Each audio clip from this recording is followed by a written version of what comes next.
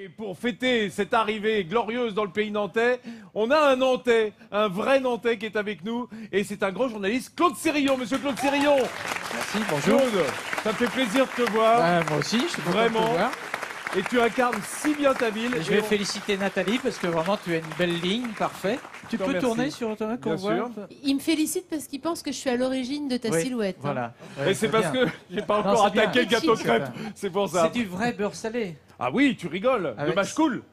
Gros sel de Guérande. Ah oui, De gros chez sel de Guérande. Ah non, mais bien évidemment. Ah, Évidemment. Bah écoute, hein, tu connais les bonnes maisons, c'est bien naturel. À tes côtés, toute notre équipe de chroniqueurs et de spécialistes, Jean-Sébastien Petit-Demange, Nathalie Schrein-Guirma, Nathalie Simon et notre cousin, parce que tu sais que les journalistes des, des antennes locales de France 3, ce sont nos cousins, notre cousin de France 3 Pays de la Loire, Christophe Chastanet. Bonjour Vincent, bonjour Claude, bonjour à tous.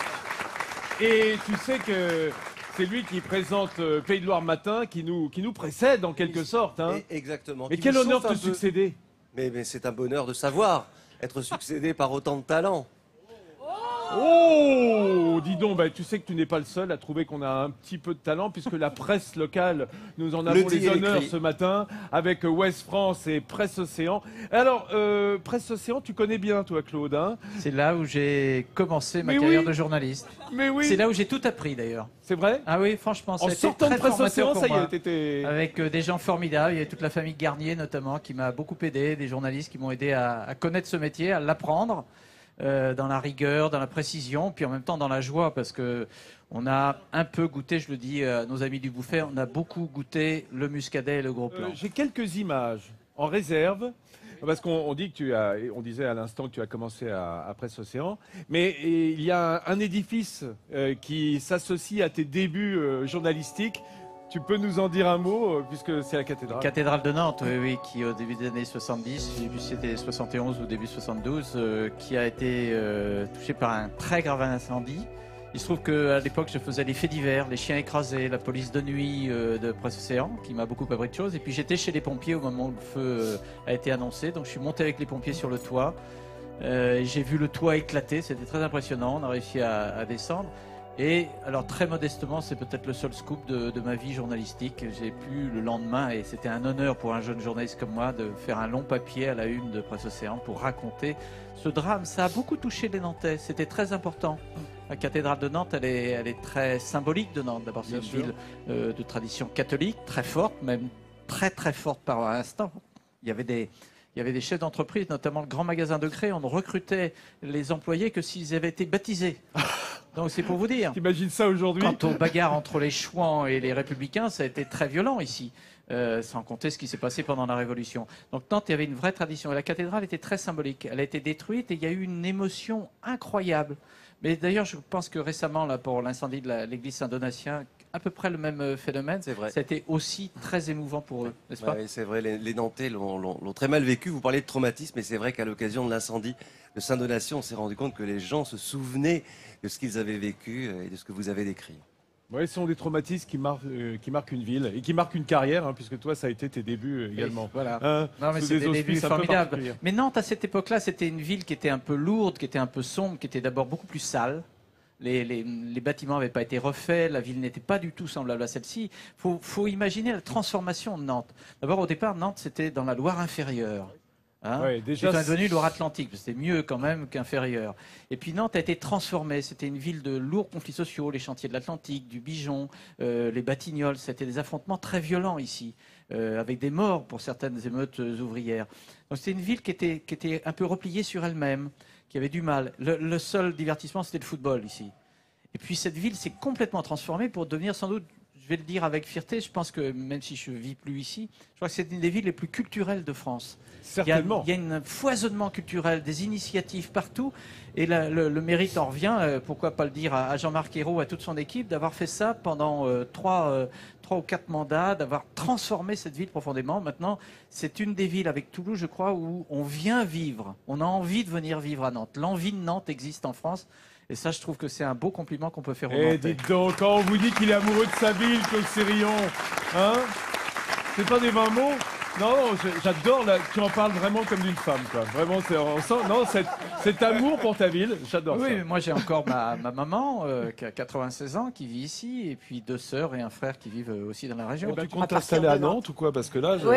je trouve que euh. Claude, Claude, elle, elle est carrément euh, nantaise de cœur, maman là. hein. Là, c'est parfait ce qu'elle dit. Non, mais c'est vrai, c'est un- c'est un peu comme pour Royal de Luxe. Une idée culturelle née à Nantes est devenue une idée internationale. C'est un peu comme la fête de la musique. Voilà. Des- des- il y a René Martin qui a lancé ça avec toute une équipe, pas tout seul. hein. Il a fait un boulot formidable. Je me souviens, euh, pour la première année, euh, j'avais eu l'occasion de le recevoir au journal de 20h. Il, avait, il, il essaie- il espérait quelques milliers de personnes. Et c'est incroyable ce, ce mouvement qu'il a créé dans le monde entier. Et la passion de gens qui ne connaissaient pas la musique classique et qui, grâce à lui, sont devenus des... Donc j'ai encore un espoir. Non, oui, je vais essayer, mais j'ai raté. Nous sommes à Nantes, je vous le rappelle, si vous rejoignez l'émission, sous un soleil absolument incroyable. Euh, c'est pas la vision que j'avais de Nantes, mais tout le monde me dit ici que si. Oh. C'est très classique. Il fait toujours beau à Nantes, c'est pas vrai Climat Non, océanique. pas Ouais. toujours, mais Bah, plus enfin. qu'à Paris, en tout cas, beaucoup plus qu'à Paris. Ouais, alors, vous voyez, j'ai essayé de dire du mal et j'y arrive pas. En fait, il y a un coach ici hein, qui vient de sortir un livre, dire du mal. Alors nous, on essaye, mais on sait dire que du bien. Donc, com- comment est-ce qu'on fait, C'est Claude pas complètement inexact de dire qu'il pleut à Nantes quand même. Oui, de temps en temps. Hein hein, si on se réfère Mais il y a des belles chansons. couleurs sous la pluie. Hein Dis-nous un mot de ton livre. Alors, dire du mal, c'est vraiment le mal du siècle?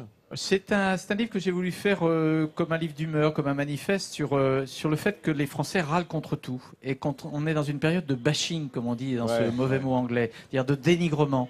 Et je trouve que l'inflation euh, technologique a fait que maintenant, bah, euh, comme on ne sait pas trop quoi dire, bah, on passe son temps à être dans l'outrance, à, à être dans la critique, être dans le dénigrement, être dans la violence des mots, euh, la grossièreté, même quelquefois la une des magazines politiques sont, vraiment très impressionnants pour ça. Et donc j'ai voulu faire réfléchir et dire attention, pourquoi est-ce qu'on dit autant de mal de tout, tout le temps? Parce que d'une certaine manière, quand on dit du mal de tout, on dit du mal de soi-même. Ah bon, Et c'est pas une dès manière qu'on de voyage un peu, on se rend compte que dans les pays anglo-saxons notamment, ou euh, en Allemagne, euh, les, les gens ne sont pas aussi défaitistes, aussi critiques vis-à-vis d'eux-mêmes. Ils sont dans l'enthousiasme, dans la volonté de faire. D'autant qu'il y a une deuxième France, et vous, à Midi en France, vous la connaissez très bien, beaucoup mieux que certains médias parisiens. Vous savez qu'en France, il y a 1 500 000 associations. C'est-à-dire, c'est incroyable. Oui, la oui, la bien vie sûr, active de la France, la vie culturelle, sociale, Mm. le lien social qui se fait.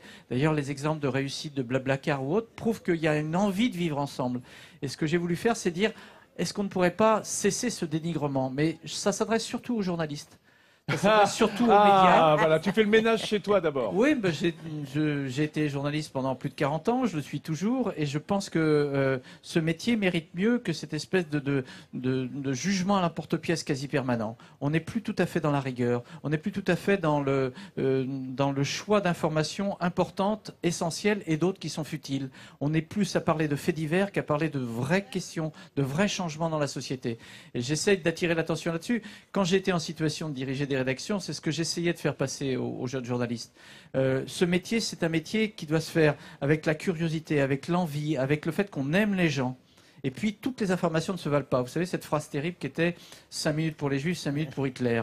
Et j'ai l'impression qu'aujourd'hui, c'est 50 secondes pour tout le monde et on passe à autre chose. C'est-à-dire y a une forme de désinvolture, une forme de, laisser aller dans, dans l'information euh, qui fait que tout le monde a un jugement à l'emporte-pièce tout de suite. Et donc, j'ai essayé de dire, je crois connaître un peu ce métier, est-ce qu'on ne pourrait pas mettre le frein à main et puis retrouver une hiérarchie de l'information? Toutes les informations ne se valent pas. Et c'est euh, à travers ce, ce petit livre, Dire du mal, le, le- la- le questionnement que je fais à la fois aux médias, aux journalistes, mais aussi à tous les citoyens, Claude. parce qu'on est, on est tous Merci beaucoup. Nat, on peut t'expliquer avec Claude pourquoi cette invention mérite d'être ici mad in Nantes? Ne pouvait, ne pouvait se faire qu'à Nantes? Oui. Dites-moi, Claude. Oh, je sais pas, c'est une anecdote, je disais, c'est qu'ici, place du Bouffet où nous sommes, d'abord c'était un marché ici, on venait en général chercher des huîtres ou du poisson, donc ça sentait plutôt le poisson ici.